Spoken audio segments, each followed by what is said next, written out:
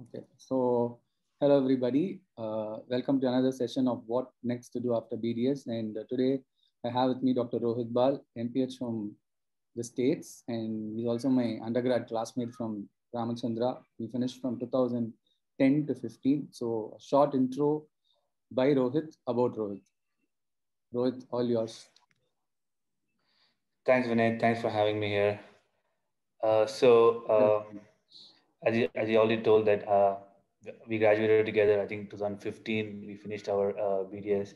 Then I moved to the States in 2017 and I did my MPH in the University of Colorado. And uh, uh, I graduated from there in 2019. And uh, now I'm currently working and I'm planning on pursuing a PhD in the fall. that would be like in the August.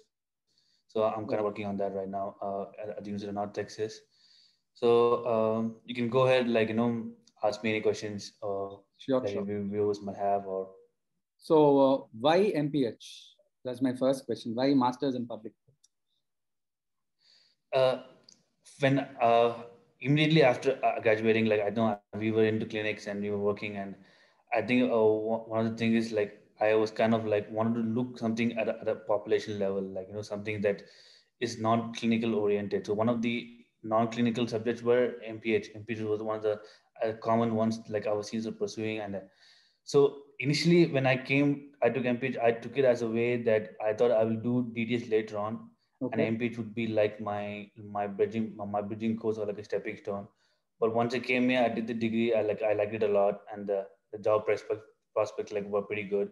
So I just kind of like stuck to it, and like you know, I I, I just kind of stopped the whole DDS thing because this kept me satisfied. So if at all, if somebody wants to do a DDS, so how does MPH help? So usually before, I wouldn't say now because it's, I didn't I did not do DDS. I, I wouldn't be able to speak much to it. So a lot of people before they used to come uh, do MPH here, and then on the side they would do the requirements that would that would get them into DDS. For example, they would you know you'd have to do like shadow a dentist in America. You would have to uh, clear the board exams. You know you have to do like research like research opportunities, volunteer opportunities. So they would kind of build up their uh, resume for to applying for the DDS. That's to apply to dental school here, and they would do that on the on on on par with the MPH, so that like just, just so they can like beef up their resume and and be like a stronger candidate when they apply for DDS Okay. to increase the chance of acceptance. Cool. And do you get any exemption if you have an MPH because you have two parts? Uh, no, you don't get any. Nothing, right? No, no. And uh, any particular reason as why you went to the states for the MPH? Because uh, MPH, uh, I think I didn't introduce before. It's Masters in Public Health. Most of you must be knowing. Uh, it's there in other countries also, like Canada, UK, uh, Australia, also, right? So anything uh, specific for you to go to the US for this? I think for, for me, my one of my personal reasons was my brother was already here, so he came for his masters. He, he he's, an engineer, so that's why I'm, so you know the uh, I already had like a description of the US and what it's like, what it's like to be here, and other things. And the US is it's like it's a pretty big country, and like you know, and the the opportunity here is kind of in, in, incomparable to like the other countries. Like, you know, US has one of the biggest public health systems like in the world. So with almost like 50 states and and and so much of job opportunities and you have like 4000 universities to apply to like in the Wow. us so i just thought like you know it's like a it's like a, a huge opportunity to come here compared to the other countries and you can always migrate to the other countries later on because one the us degree is kind of like it's valid almost everywhere in the world so and it, since this is not a non-clinical degree you don't you don't have the barriers to examination and things like that so I thought like you know if I come to the US, you know I'll have, have like a universal degree, and later on if I want to jump somewhere, I can. Uh, it's not easy to jump somewhere, but I thought no, this would be like a good kind of like a stepping point to go somewhere else if needed to. But I came in, and I kind of like did some time my best to like kind of like stick here. That's nice. That's nice. Is, uh, what about like do you require any examination to get into this course, or and uh, what are the requirements for a dental student to get into a um, MPH course in the states?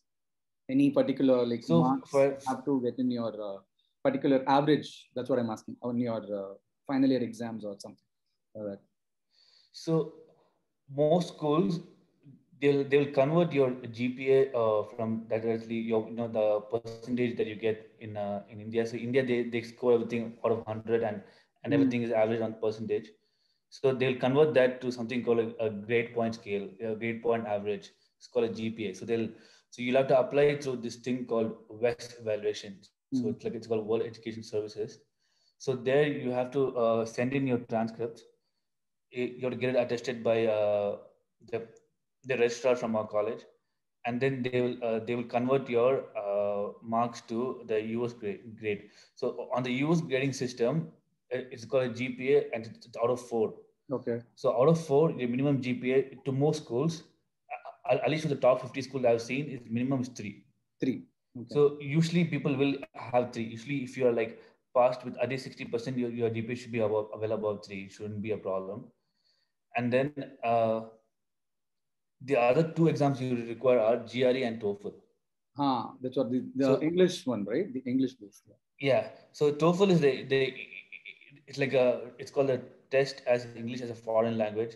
So that's like a completely English exam. So there are four sections: reading, listening, uh, speaking, and writing.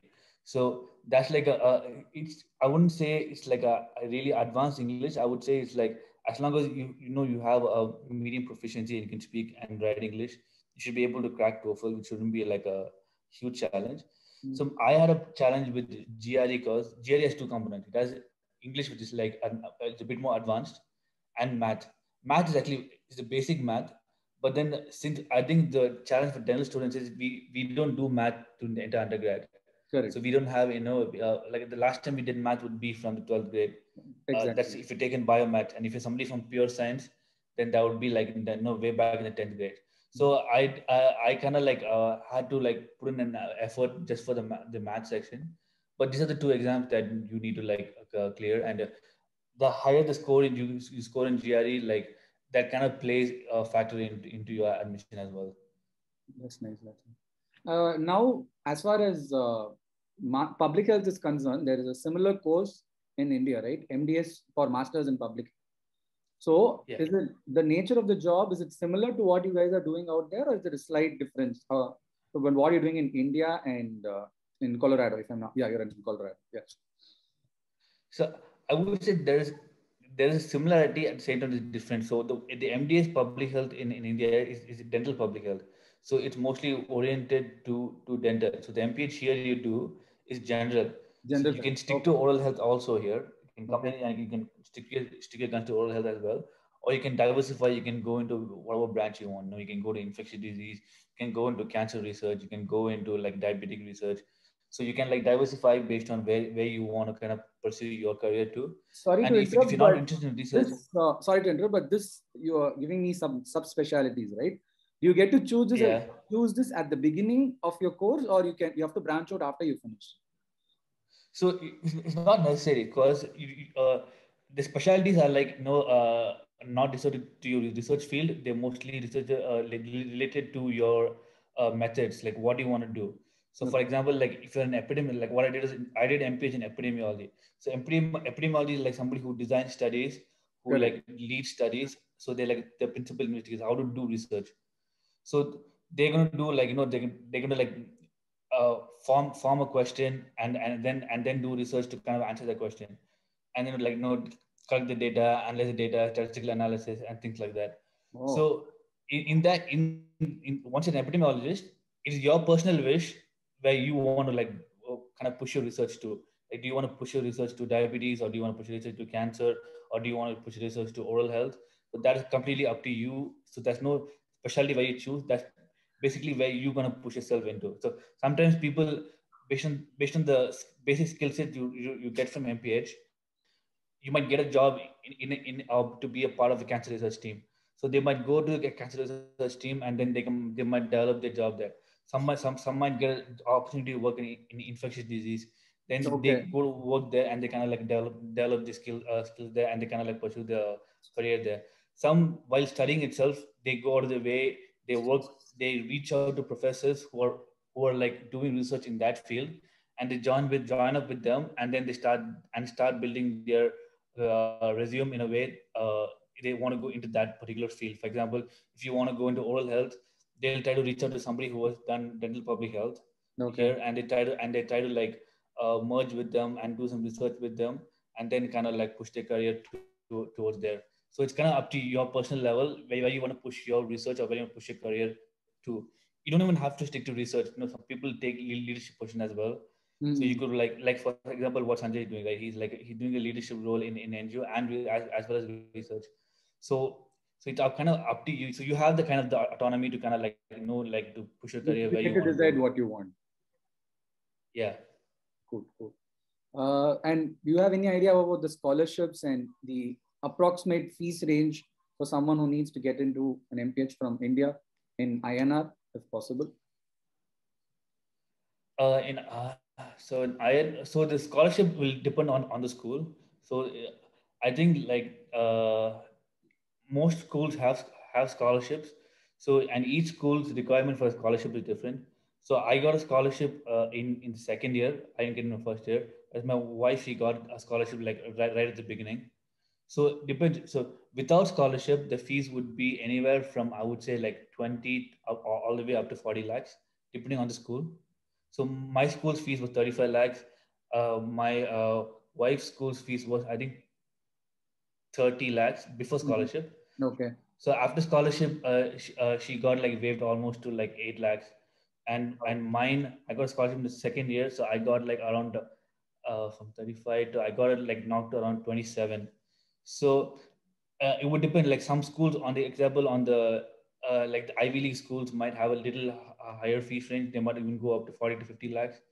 So I would say it depends on the school on uh, how much you're going to expect. But I would say expect anywhere from 30 to 40 lakhs, depending uh, uh like b- before scholarship.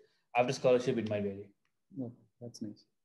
So uh, that's it. And do you feel if somebody is like a young uh, like when we were in an internship or something like that. Somebody of that uh, age is watching. So, what advice would you give them if they want to pursue MPH in the States? Like, uh, what will be the general field of work? What should they prepare themselves for the same? I, I would say like like start. Sorry. Short and sweet, not rumba elaborate, simply keep it simple. Yeah. I would say like like start start early, like you know, like immediately, like like I like pushed it like very far, very fast. Mm-hmm. Like you know, like two towards the end, like I was like kind of like figuring out what to do for two years. At the same time, you don't have to rush. Like like look into all the options, see what you like. You know, MPH is not the only non-clinical uh, no option. There are so many other courses as well. So like you know, if you're gonna if you've decided that you know you're going to pursue an MPH, like I would say start early, get all the you know, reach out to schools. Like you know, like I would say like one of the things back in prepare for your GRE really well and, and reach out to schools, like you know, reach out to professors, ask them for scholarships, ask them what opportunities are there, and, and try to connect with them so that it, because sometimes if you're able to connect well with the professor, that kind of opens up a much a lot more doors to you. So go to school's website, research them, like talk to the admission team, like talk to them before applying and get their requirement and, and start early. And then make sure that, like for example, you, you can't change your marks. So what you got in under uh, BDS, it, it's you, you can't go back and change it. That's like, right. but whatever you can change, for example, your GRE score, TOEFL score, try your best to you know uh, improve upon those and, and and make sure you know you get a good score, and then like put in the effort for that, and then you can go ahead. You know, so it's not like a very tough process. So it should be relatively easy as long as you start early. And uh, all the best for your PhD. So thanks so much. Waiting for it, right? You're going to join a university soon. Yeah, I'm going to join the fall. I'm going to go and join August. Cool, cool, thanks. And is it okay if I can share your email ID? So if somebody wants to contact you, so I'll just. Yeah, yeah, yeah, go ahead. That's okay, no? Okay. Thanks for uh, joining, Rohit. That's a wonderful session. Uh, hopefully, we will uh, have a recording session soon with you with your PhD. Yeah, sure. Looking forward to it. Thanks, Rohit. Bye.